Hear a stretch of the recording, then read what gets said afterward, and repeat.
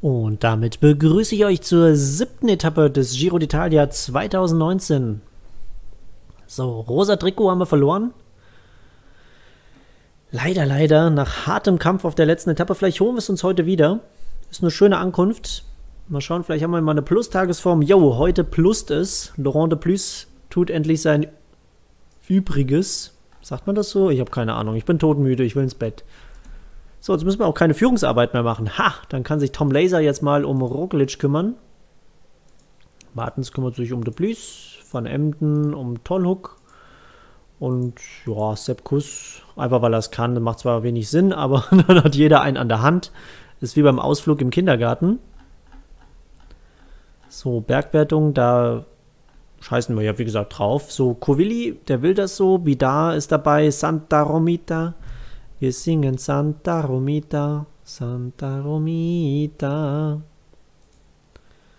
So, jetzt für mich immer noch derselbe Dienstag wie bei den Folgen davor. Also ich weiß nicht, wie es am Mittwoch und Donnerstag ausgegangen ist, um das nochmal zu erwähnen. Und ich kann nicht auf Kommentare eingehen. So, angegriffen wird vorne fleißig. Wir werfen einen kleinen Blick, während die sich da vorne die Köpfe einschlagen, auf die Gesamtwertung. Nibali mit 5 Sekunden vor Roglic, Dümola mit 20 Sekunden Rückstand. Dann Mollema, der nächste der Favoriten. Miguel Angel Lopez mit einem Bergwert von 80 sicherlich auch dazu zu zählen. Dann Mikelanda, der Realität ja auch schon rund zwei Minuten Rückstand gab nach der vierten Etappe, also ein bisschen hinten dran. Ich weiß nicht, ob die Formkurve da nochmal nach oben zeigt. Simon Yates auf der 11, Zakarin auf 12, Kuhn Baumann, unser Mann, auf der 14. So, und dann spulen wir ein bisschen schneller. Wie gesagt, das Flache müssen wir uns ja nicht immer so geben. Und jetzt habe ich auch gerade nur noch sehr, sehr, sehr, sehr wenig Zeit.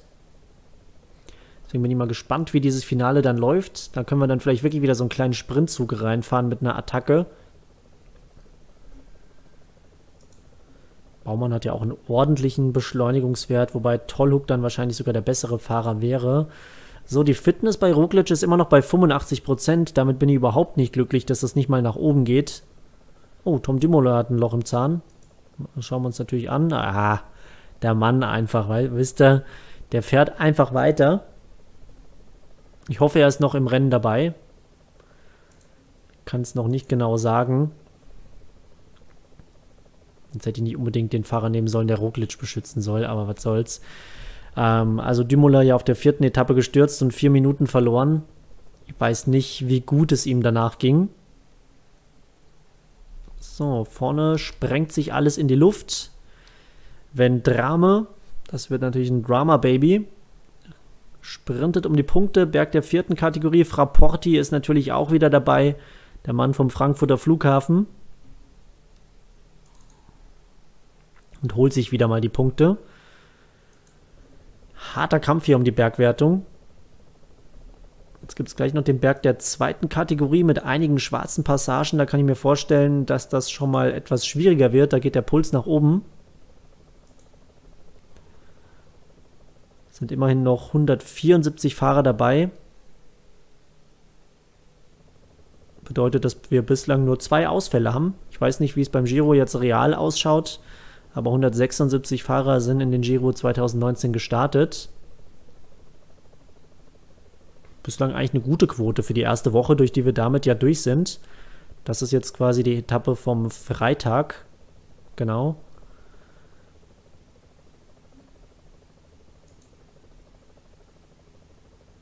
...180 Kilometer ist jetzt auch nicht die Welt. Haben wir den Großteil auch schon hinter uns gebracht. Jetzt wird, wie gesagt, das Tempo gleich schneller werden, beziehungsweise das Tempo ist schon schneller geworden. Hier vorne wird ordentlich reingehauen müsste Trexiger Fredo sein, die da so ein Tempo machen.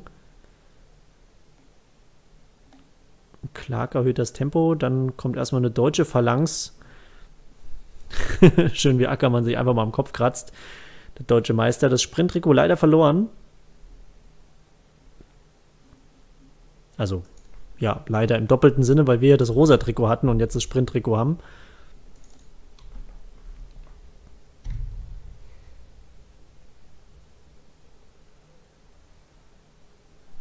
So, Les Volte di Popoli. Das klingt doch. Die Revolte des Volkes oder sowas heißt das dann übersetzt. Oder es ist irgendwo, wo es Volte gelandet ist, aus Skandinavien. Das wollte. Das wollte der wohl so. Popoli habe ich mich schon immer drüber lustig gemacht, aber es heißt einfach nur Volk. Aber als ich auf dem Piazza del Popolo war, habe ich gedacht, oh Gott, jetzt bin ich auf dem Piazza del Popoloch gelandet. So, hier sind die schwarzen Passagen, während ich hier über das Popoloch rede. Jetzt haben wir natürlich das Wasser ein wenig außen vor gelassen.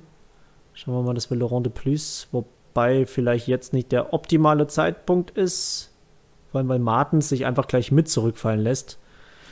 Clever gemacht, muss man mir einfach lassen. Noch fünf Kilometer bis oben hin. Nibali ist da in einer deutlich besseren Position als Roglic. Der da ein bisschen kämpfen muss.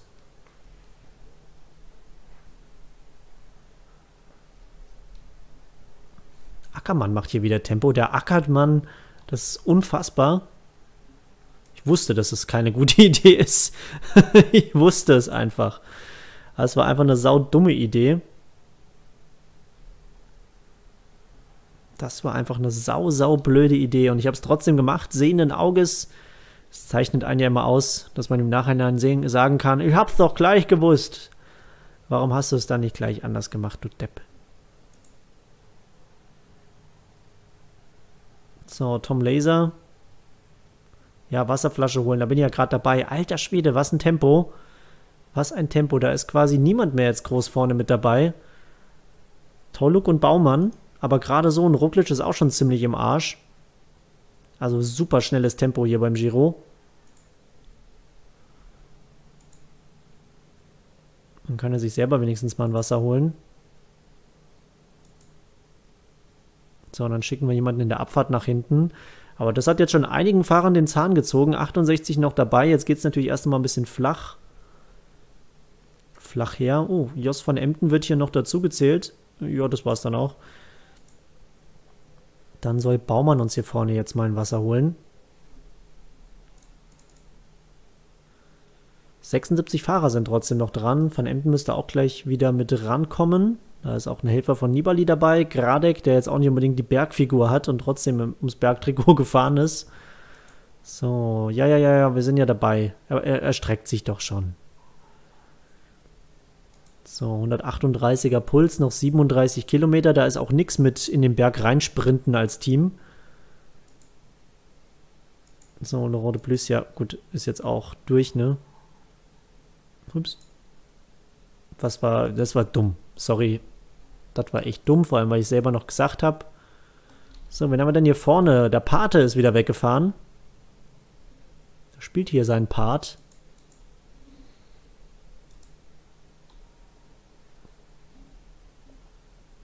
So, jetzt 79 Fahrer, davon sind nur drei aus unserem Team, was nicht unbedingt vier. Natürlich von Emden muss es unbedingt jetzt wieder ändern. Das spricht nicht unbedingt für unser Team.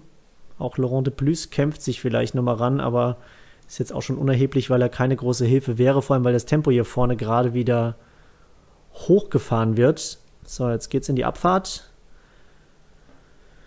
Und dann sind wir auch schon im Finale von der Etappe, wo wir uns vielleicht das rosa Trikot zurückholen. Aber Nibali war die letzten Etappen ultra stark, hat jetzt auch schon einige gewonnen. Und Baumann ist heute deutlich stärker als Tollhook der uns natürlich mit Roglic auch ein bisschen Kraft sparen muss. So, 92 Fahrer sind dabei, also schon quasi mehr als die Hälfte des Feldes ist noch am Start, aber ich glaube, die meisten sind echt platt. Also da wird es jetzt keine großen Teamzüge mehr geben können, sondern die Favoriten werden sich dann gleich gegenseitig aufs Maul hauen.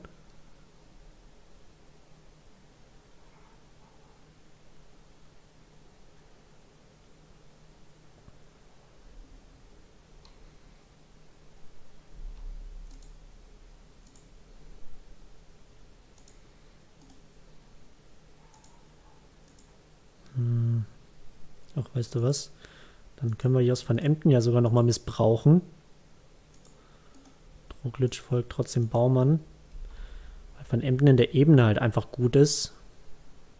Jetzt muss nur Roglic auch noch ans Hinterrad. Warte! Sonst fährst du den roten Balken kaputt von Roglic. Roglic.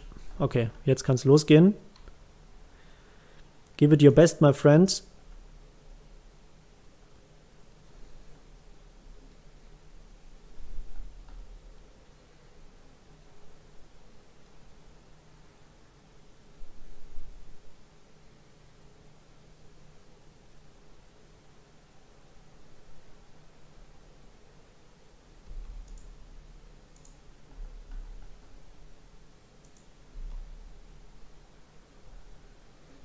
So, Baumann übernimmt. Dimola ist dran. Wo ist Nibali?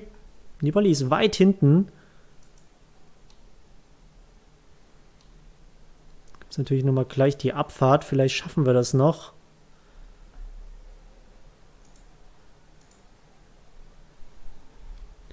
So, wir sind in einer richtig guten Position.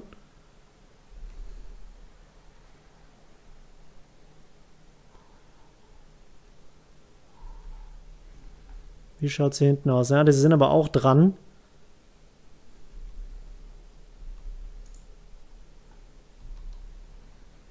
Ja, okay, da sind sie wieder dran, leider.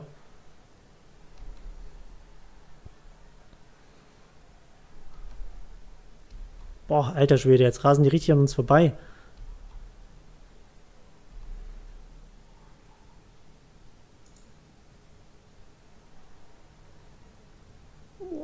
Wird dann nochmal richtig steil. Auf Rucklic. Häng dich nochmal an Formolo dran. Lass dich nochmal ziehen. Dann sprinten wir nochmal vorbei. Vielleicht, vielleicht schaffen wir es noch an Formolo vorbei, der auf den letzten Metern. Das gibt's doch nicht. Komm schon, Roglic, wenigstens einmal gewinnen. Ja, oh Mann, oh. Mist, und Nibali wird natürlich genau Dritter. Sonst hätten wir uns das rosa Trikot wiedergeholt. Dieser scheiß Formolo. Naja, klar, der hat den Frust jetzt rausgelassen, weil er gestürzt ist. Wieder nur Zweiter. Wir sind, wir sind der, der ewige Zweite des Giro d'Italias. Gibt's da nicht.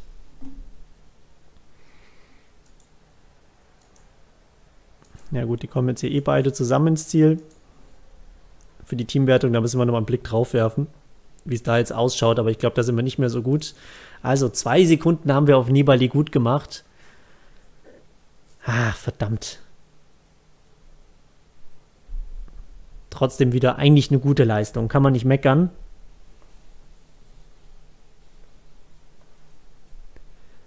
Dimola wieder auf dem vierten Platz.